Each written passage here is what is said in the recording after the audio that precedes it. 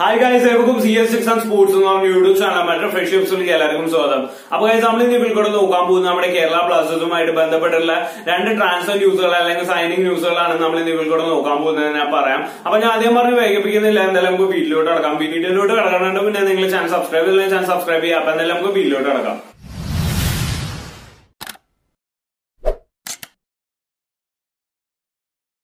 നമ്മൾ ഇന്ന് ഇതിൽ കൂടെ നോക്കാൻ പോകുന്ന കേരള ബ്ലാസ്റ്റേഴ്സുമായിട്ട് ബന്ധപ്പെട്ടുള്ള രണ്ട് ട്രാൻസ്ഫർ ന്യൂസുകൾ അല്ലെങ്കിൽ സൈനിങ് ന്യൂസുകളാണെന്ന് പറഞ്ഞു. അപ്പൊ എന്തായാലും നമുക്ക് ആദ്യത്തെ ന്യൂസിലോട്ട് വരാം. പറ്റുന്നല്ല ജീവ്സൺ സിംഗ് എന്ന് പറഞ്ഞിട്ടുള്ള ഒരു യുവ മിഡ്ഫീൽഡറെ കേരള ബ്ലാസ്റ്റേഴ്സ് സൈൻ ചെയ്തിട്ടുണ്ട്. ഈ കാര്യം ഗോൾ ഡോട്ട് കോം ആണ് റിപ്പോർട്ട് ചെയ്തിട്ടുള്ളത്. അപ്പൊ ഗോൾ ഡോട്ട് കോം റിപ്പോർട്ട് ചെയ്ത് നമുക്ക് വിശ്വസിക്കാൻ പറ്റുന്ന ഒരു കാര്യം തന്നെയാണ്. അപ്പൊ ഗോൾ ഡോട്ട് കോം റിപ്പോർട്ട് ചെയ്തനുസരിച്ചിട്ട് ജീവ്സൺ സിംഗ് എന്ന് പറഞ്ഞിട്ടുള്ള ഒരു പതിനേഴ് വയസ്സായ യുവ മിഡ്ഫീൽഡറെ കേരള ബ്ലാസ്റ്റേഴ്സ് സൈൻ ചെയ്തിട്ടുണ്ട്.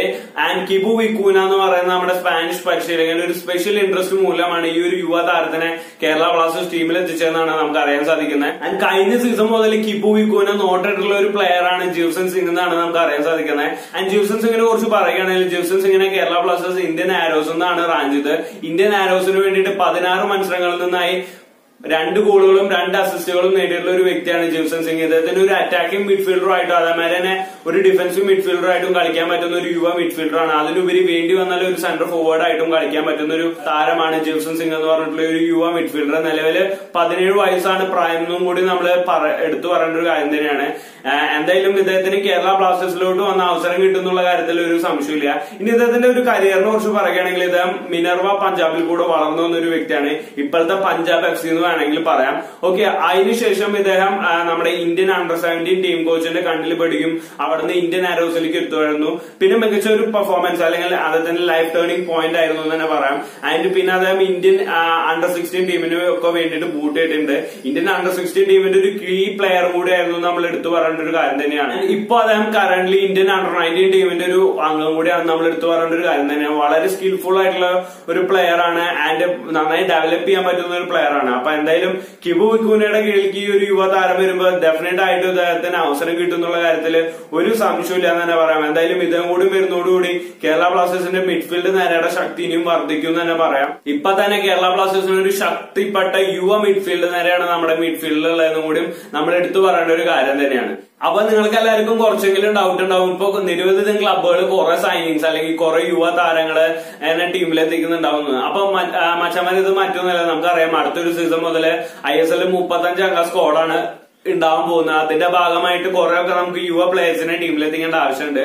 അപ്പൊ അതിന്റെ ഭാഗമായിട്ടാണ് ഓരോ ക്ലബുകളും യുവ താരങ്ങൾക്ക് വേണ്ടിയിട്ട് പിടിവലി മുറുക്കുന്നത്. നമ്മൾ എടുത്തു പറയേണ്ട ഒരു കാര്യം തന്നെയാണ്. എന്തായാലും ഈ താരം കൂടി എത്തുന്നതോടുകൂടി നമ്മുടെ ക്ലബിന് കുറച്ചുകൂടി അഡ്വാന്റേജ് കിട്ടും തന്നെ പറയാം. ഓക്കെ അപ്പൊ കിബു ഇക്കൂനയുടെ ആദ്യത്തെ ഒരു സൈനിങ് ആണെന്നും കൂടി നമ്മൾ എടുത്തു പറയേണ്ട ഒരു കാര്യം തന്നെയാണ് നമ്മുടെ ക്ലബിൽ അപ്പൊ ഇത്രത്തോളമാണ് ഇദ്ദേഹത്തിനെ കുറിച്ചുള്ള ഒരു ന്യൂസ് ഇനി നമ്മുടെ രണ്ടാമത്തെ ന്യൂസ് എന്താണെന്ന് വെച്ചാൽ മറ്റൊന്നല്ല. V P Suhair to Kerala Blasters അപ്പൊ ഇതിനെ കുറിച്ചിട്ട് നമ്മൾ മുന്നേ ഒരു ന്യൂസ് ഇട്ടുണ്ടായിരുന്നു ഇത് നയന്റി പെർസെന്റേജ് കൺഫേംഡ് ആണെന്ന് പറഞ്ഞിട്ട്. അതിൽ ഇപ്പൊ കുറെ പേര് ഇപ്പോഴും കുറെ പേര് നമ്മുടെ വെച്ച് ചോദിക്കുന്നുണ്ട്. ആൻഡ് കുറെ പേരെ തെറ്റിദ്ധാരണ എന്താണെന്ന് വെച്ചാൽ ഇദ്ദേഹം കേരള ബ്ലാസ്റ്റേഴ്സിന്റെ ടീമിൽ എത്തിയെന്നാണ്. അപ്പൊ മച്ചന്മാര് ഇപ്പോഴും ഇദ്ദേഹം കേരള ബ്ലാസ്റ്റേഴ്സിൽ എത്തിയിട്ടില്ല എന്ന് പറയും. ഇപ്പോഴും നയന്റി പെർസെന്റേജിൽ തന്നെയാണ് വി പി സുഹറിന്റെ കാര്യം നിൽക്കുന്നതെന്നാണ് നമുക്ക് അറിയാൻ സാധിക്കുന്നത്. ഇപ്പോഴും കൺഫേംഡ് ആയിട്ടില്ല വി പി സുഹറിന്റെ കേസ് അപ്പൊ നിങ്ങൾ എല്ലാവരും ചോദിക്കുന്നുണ്ടാവും നമ്മുടെ ട്രാൻസ്ഫർ മാർക്കറ്റിന്റെ കേസ് അപ്പൊ ട്രാൻസ്ഫർ മാർക്കറ്റിൽ ഇദ്ദേഹം ജൂണിൽ നമ്മുടെ കേരള ബ്ലാസ്റ്റേഴ്സിലേക്ക് എത്തുന്ന റിപ്പോർട്ടുകൾ ഉണ്ട്. കാട്ടിയിട്ടുണ്ട്. പക്ഷെ ഞാൻ ഒരു കാര്യം പറയട്ടെ മച്ചന്മാരെ. നമ്മുടെ വിക്രം പ്രതാപ് സിംഗ് നിങ്ങൾക്ക് എല്ലാവർക്കും അറിയുന്നുണ്ടാവും. അദ്ദേഹത്തിന്റെ പുറകെ ഈസ്റ്റ് ബംഗാളും കേരള ബ്ലാസ്റ്റേഴ്സും മുംബൈ ഉണ്ടായിരുന്നതാണ്. ആ ഒരു സമയത്ത് നമ്മുടെ ട്രാൻസ്ഫർ മാർക്കറ്റിൽ വിക്രം പ്രതാപ് സിംഗ് ഈസ്റ്റ് ബംഗാളിലെ ആഡായി എന്ന് പറഞ്ഞിട്ട് ട്രാൻസ്ഫർ മാർക്കറ്റിൽ കാട്ടിണ്ടായിരുന്നു എന്നിട്ട് ഒരു നാല് ദിവസം കഴിഞ്ഞപ്പോൾ ആ ഡിലീറ്റ് ചെയ്ത് കളഞ്ഞു. ഓക്കെ അപ്പോ ട്രാൻസ്ഫർ മാർക്കറ്റിനെ ട്രസ്റ്റ് ചെയ്യാൻ പറ്റേ എന്ന് തന്നെ പറയാം. ചില എഡിറ്റിംഗ് മിസ്റ്റേക്സുകളൊക്കെ അല്ലെങ്കിൽ ചില മിസ്റ്റേക്സുകൾ അവരും വരുത്തുണ്ടെന്ന് തന്നെ പറയാം. ഇപ്പോ ഇത് കൺഫേം ആയിട്ടുണ്ടെന്ന് തന്നെ വെക്കാം അപ്പൊ കൺഫേം ആയിട്ടുണ്ടെങ്കിൽ ഗോൾഡ് ഡോട്ട് കോം ഒക്കെ റിപ്പോർട്ട് ചെയ്യേണ്ടല്ലേ അവരൊന്നും റിപ്പോർട്ട് ചെയ്തിട്ടില്ല. അപ്പോ അത് ഇനിയും കൺഫേം ആവാണ്ട് തന്നെ പറയാം. ഏകദേശം നയന്റി പെർസെന്റേജ് കൺഫേംഡ് ആയിട്ടുണ്ട്. കുറച്ച് പേപ്പർ വർക്ക്സും അതേമാതിരി തന്നെ അതേ മറ്റുള്ള ക്ലബ്ബേഴ്സിന്റെ റിപ്ലേസിനൊക്കെ വേണ്ടിയിട്ട് വെയിറ്റ് ചെയ്യാണ്. അദ്ദേഹത്തിന്റെ ഓഫേഴ്സിനൊക്കെ വേണ്ടിയിട്ട്. അതാണ് ഈ ഒരു സൈനിങ്ങിനെ കുറിച്ചിട്ട് സമയം എടുക്കുന്നത്. അപ്പൊ ഇപ്പോഴും വി പി സുവേര് കേരള ബ്ലാസ്റ്റേഴ്സിൽ ഹൺഡ്രഡ് പെർസെന്റേജ് എത്തിയിട്ടില്ല. എന്തായാലും എത്തുമ്പോൾ നമ്മളൊരു ഡെഡിക്കേറ്റഡ് വീഡിയോ തന്നെ ചെയ്യുന്ന തന്നെയായിരിക്കും. അല്ലെങ്കിൽ വീഡിയോയിൽ അപ്ഡേറ്റ് ചെയ്യുന്ന തന്നെയായിരിക്കും. അപ്പൊ എന്തായാലും കൂടുതൽ ഐസൊലേഷൻ കേരള ബ്ലാസ്റ്റേഴ്സ് വിശേഷങ്ങൾക്കായി നമ്മുടെ ഈ ചാനൽ സബ്സ്ക്രൈബ് ചെയ്യുക. വീഡിയോ ഇഷ്ടപ്പെടാൻ ലൈക്ക് ചെയ്യാൻ ഷെയർ ചെയ്യാൻ മറക്കരുത് അപ്പൊ നമുക്ക് ഇനി മറ്റൊരു വീഡിയോ കാണാം. സാധാരണ ഓഫ്